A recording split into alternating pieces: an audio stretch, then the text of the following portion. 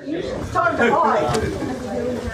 Hello, Kath. Pleased to meet you. Yes, pleased to meet you. Hi. This is Margaret. Um, Hi, Margaret. Hi. Oh, you look okay. We need the music. Hey, Peter. Peter. What, what? Peter, they said they haven't had blind dates before, so that Yes, I'm Well, I'm uh, a founding member of uh, Arkamara Advocacy. We started the group in uh, year 2000, and I'm the national president as well as I'm the local president of the group.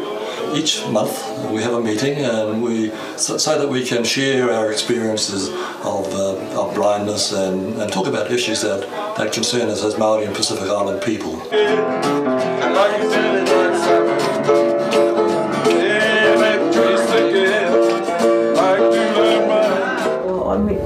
When I joined the foundation a couple of years ago, and away it went from there.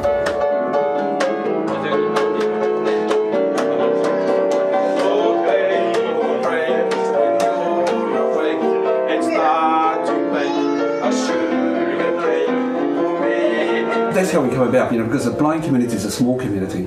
And then with, with Sound and Evan, then with Peter and I involved with uh, another group for blind Māori Pacific Islanders, this is how it evolved.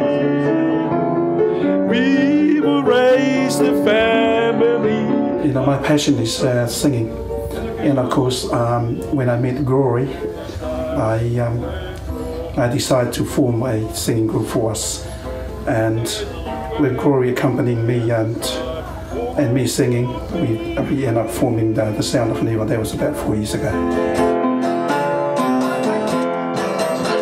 I got to know these people just through meeting at the Foundation of the Blind, and it, it uh, is a very close community. You know, we have a lot of friendships together.